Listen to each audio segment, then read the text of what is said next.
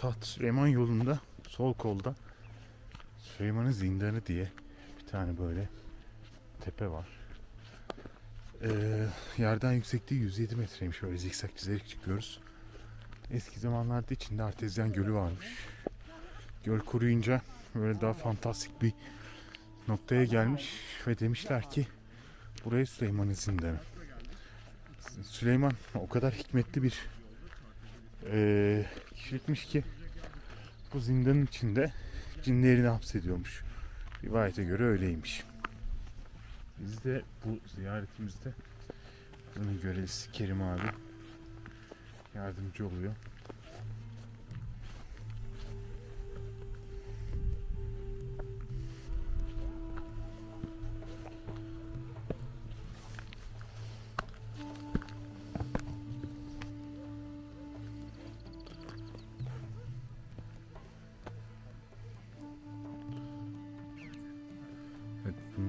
3000 yıl önce burada bu tüm taşlarda yerleşim varmış aslında bu hepsi bir ev duvarı.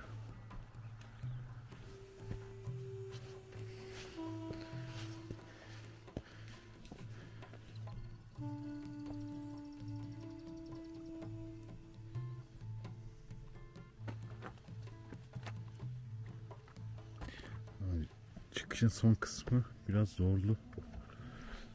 Böyle o eski evlerin arasından biraz yıkıkların içinden geçiyoruz.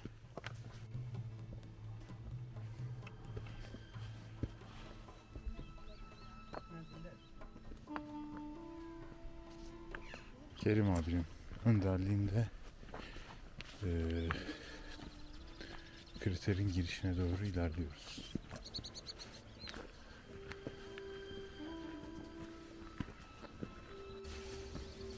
Çok rahat film tutmak, aks almak bakımdan bu.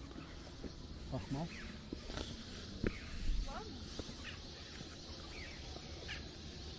Hani burası sen böyle gelme. Buraya rahat.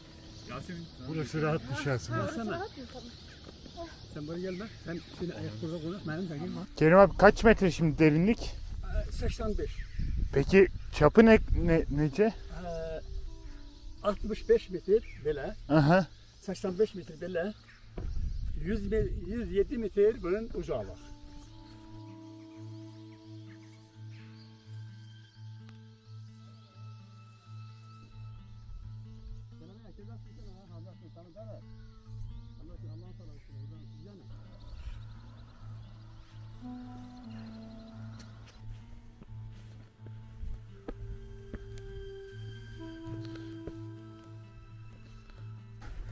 İki tane, iki tane dağ var, o bir beş.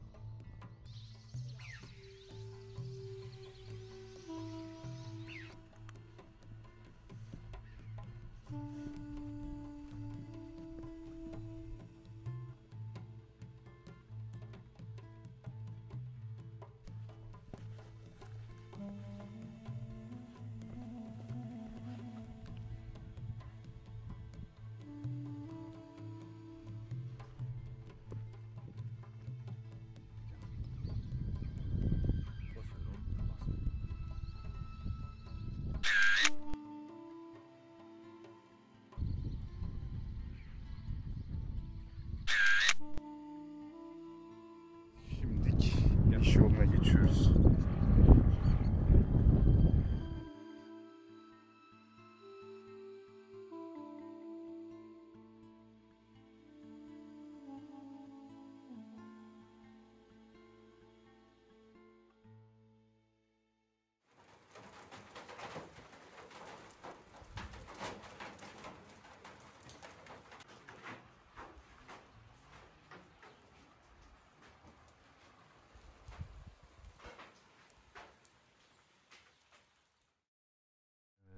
Kaldığımız otelden böyle 2 kilometrelik çukurlu bir yolculuk yaparak Taht Süleyman'a geldik.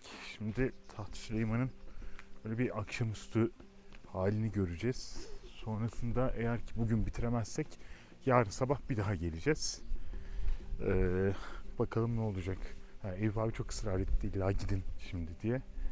Hazır yağmurda değilmişken biz de hadi gidelim dedik. Da diyor ki tıpkı e, Culfa'daki manastır gibi burası da işte UNESCO'nun miras listesindeymiş. Olarak.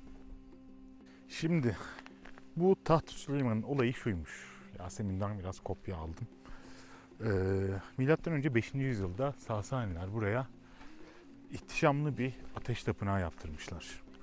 Ve e, uzun bir müddette yani hükümdar hüküm sürdükleri sürece bu ateş tapınağını kullanmışlar. Ta ki e, 13. yüzyılda İlhanlılar e, buraya egemen olana kadar.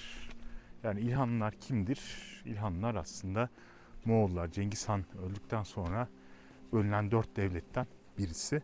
Ve İlhanlılar da buraya egemen olduktan sonra buraya bir tane e, yazlık saray diyorlar ama yazlık sarayında çok daha ötesinde büyük bir ihtişamlı bir saray yaptırıyorlar. Taht Süleyman. Ve buradaki bu Taht Süleyman olayının sebebi de bu yazlık sarayın da ötesinde e, burada işte tahta çıkma törenleridir, değişik atamalardır vesairedir. Yani önemli tahtla ilgili, yönetimle ilgili olabilecek mevzuları burada gerçekleştirdikleri için de buraya böyle bir Taht Süleyman adında bir saray de- deniyor. Bu şekilde ismi dönmüş ya da değişmiş. Şimdi yine ben Yasemin'den biraz kopyalar çekerek e, mevzuyu ara ara aktarmaya devam edeceğim. İyi.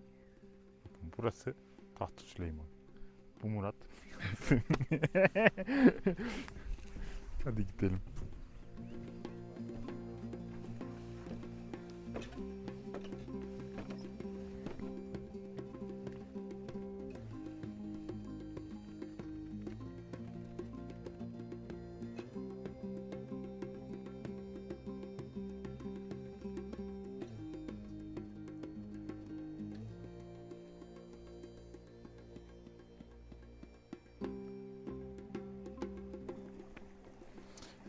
Şimdi sarayın tam orta yerinde bir tane göl var.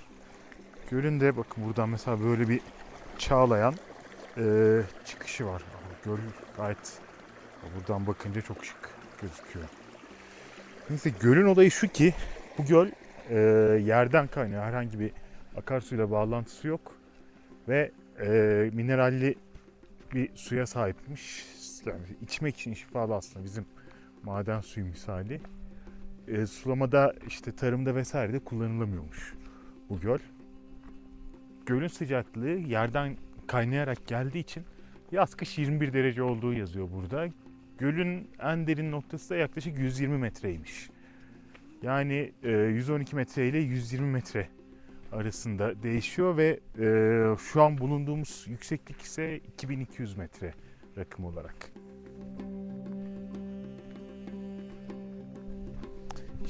Şimdi ufaktan e, eski ateş tapınağının olduğu yere şu anda ise yani İlhanlar döneminde ise sarayın yapıldığı yere doğru gidiyorum. Hatta Murat'la Yasemin çoktan o tarafa doğru gitti. Ben biraz göl goy goy için geride kaldım.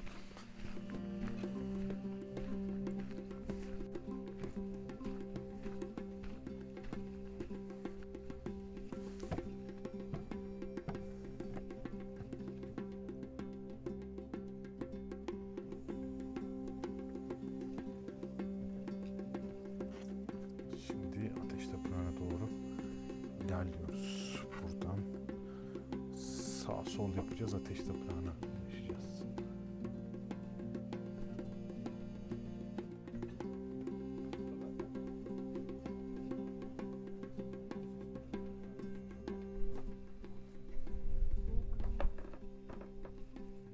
İşte burası ateş tapınağı.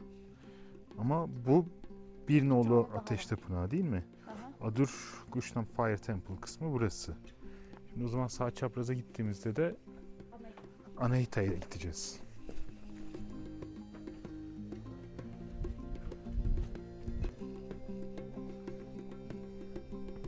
Ve bir diğer ateş tapınağına doğru ilerledik. Evet, şimdi ikinci ateş tapınağının içine doğru gidiyoruz. Anahita Ateş Tapınağı.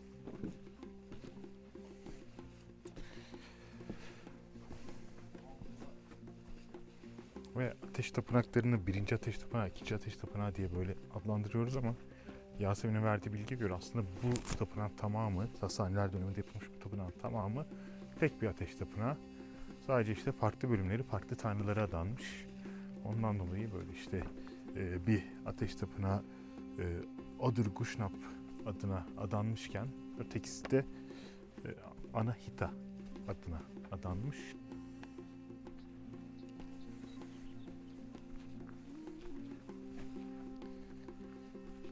Anahita Tapınağı'nın tepeden görünümü. Arka tarafta da Süleyman'ın zindanı var. Ve onun arka tarafında da bizim iki gün önce tırmandığımız yollar var. Dağlar, açtığımız tepeler.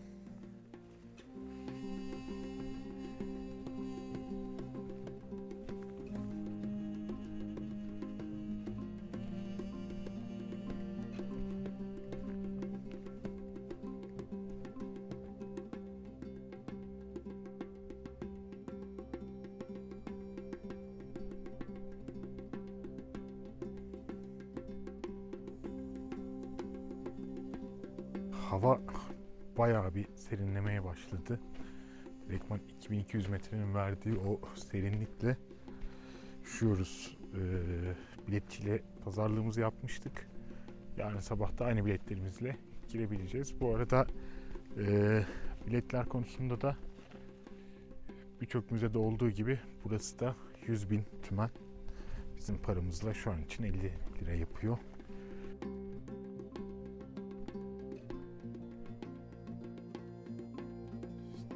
Bahsettiğim gibi Taht Süleyman'daki ikinci günümüzdeyiz. Bugün eee, ben kendi adıma biraz daha İlhanlı tarafına bakacağım. Murat'la Yasemin de kendi kayıtlarını yapıyorlar.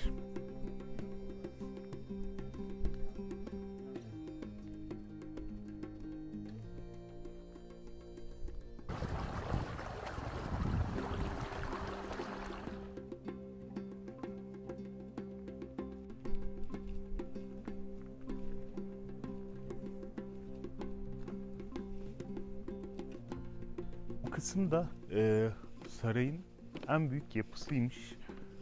Eee, dışarıda böyle üç tane büyük eee, penceresi gibi böyle avlusu gibi bir şeyler olduğu yazıyor ama yani yapı o kadar eski ki eee, şu an zaten kerpiçten ve eee, ateş tuğlasından yapılmış. Ondan dolayı eee, bu tarz iskelelerle sürekli yapıları desteklemişler.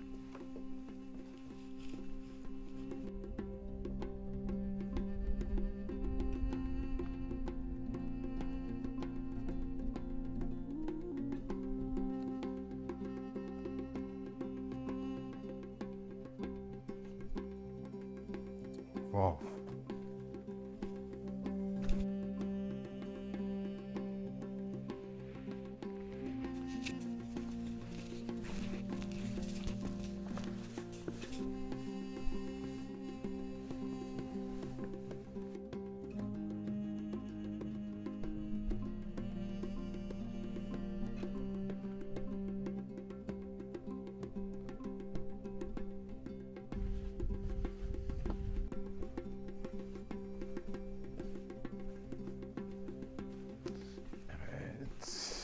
Yerlere doğru gidiyor burası. Aa, orası oraya gidiyor. Sarayın koridorları içindeyim. Biraz böyle ürkütücü yerlere doğru gidiyor.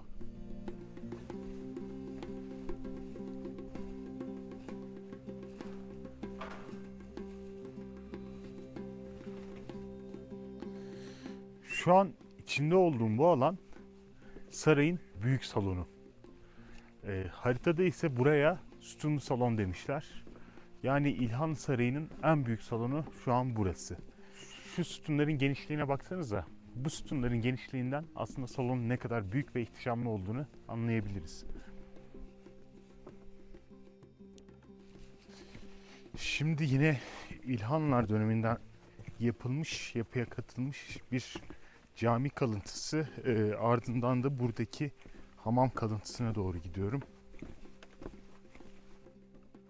Evet, şu an tam arkamda bulunan bu e, kare biçimli yapı cami olarak e, geçiyor haritada ama caminin girişini şu an bulamadım yani cami nereden giriliyor, nasıl giriliyor hiçbir fikrim yok böyle etrafında dört döndüm.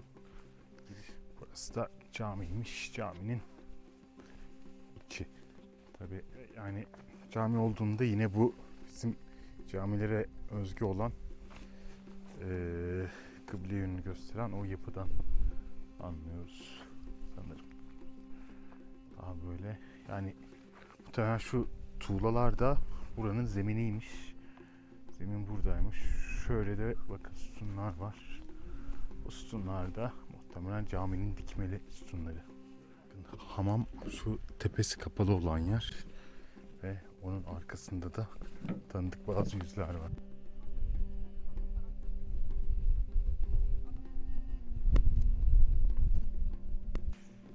Evet şu anda da e, hamamın önündeyim. Hamamı böyle çatıyla koruma altına almışlar. Tam şöyle arka tarafımda ise e, Taht Süleyman'ın batı kapısı yer alıyor. Yani hamam bayağı koruma altında. Hiç bir türlü yani içine giriş yok. Zaten çatıyla da kapatmışlar. Neyin neresi olduğunu şu an pek açıkçası tahmin edemiyorum.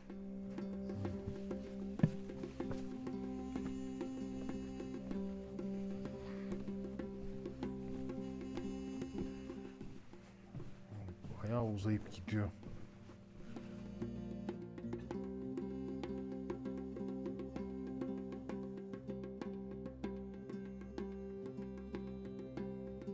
Kısmı restore etmişler. Yani asıl korunan eee, kısım sanırım bu.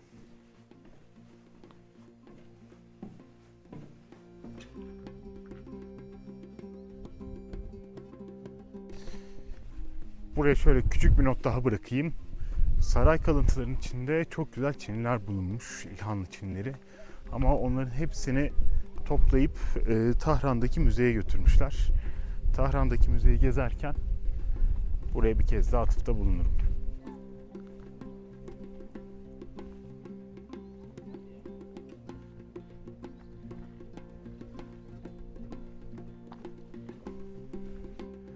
Evet, şimdi ben Murat'la Yasemin'i yeniden yakaladım. Arkadaşlar benim aktaracaklarım bitti. Sizinkiler ne durumda? Bizimkiler de bitti. Tahtı Süleyman'dan ayrılıyoruz şimdi. Evet, Taht Süleyman'a veda zamanı. Ciao.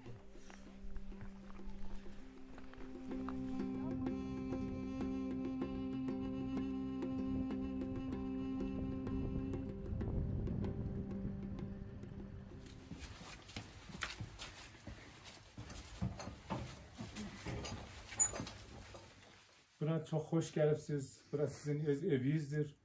Bura bizim ot evidir bura. Bu otak ki görürsünüz. Tendir. O tendirdir ki burada ot evidir. Bu ki görürsünüz bu Burada istori eləmişik, nəqqaşi çəkmişək. Bu dəryaçı, xodu dər, su Təxt Süleymandır bu dəryaçı. Kulan Təxt Süleyman ki getdiniz gördünüz. Bu ki görürsünüz burada bir şəxs Şeyx Eşraq-ı Sohrəverdi. Arif bir şəxs Mövlanaya Tay, Hafizə Arif. Şeyx Eşraq Sohrəverdi, Arifi Sohrəverdi Zəngan burada. Bu İsfahandaymış, gəlir Həmədana uşaq çağından yuxu görür ki, istir uça. Görür ki, bir qənət vardır. Bir qocanı yuxuda görür həmişə, bu buna deyir, bu uşaqlıq adı Yəhyadır. Yəhya gəl. Hey yatır, yuxuda görür, gene istir uça, görür uça bilmir. Bir tək qənəti var, bir dənə qənəti var. Gene onu yuxuna, qocanı yuxuda görür, yuxu biləsinə, qoca deyir ki, Yəhya gəl yine. Bu sonra gelir onu tapır. Gelir Gombe Sultanı. Oradan gelir Taht Süleyman'a. Burada Ateşkeli Azergoş Nesbe. Məbəd Anahitada. Burada bir müddet kalır. O hedefine çatır. Orada gelir aşık Sindok olur. Sindok bir Sasan'ın kızıdır. Burada kalır sonra buradan durur gelir Meraga'ya. Bu o cereyandı ki kollan biz burada təsvirə yetmişək, nəqqaş eləmişək. Bu buradır. Arzu edirəm, həmişə şad yaşayasınız, səlamət yaşayasınız. Arkadaşlar üçüncü günü batırıyoruz. Aynen. Süleyman'ın zindanına karşı. Süleyman'ın zindanına karşı.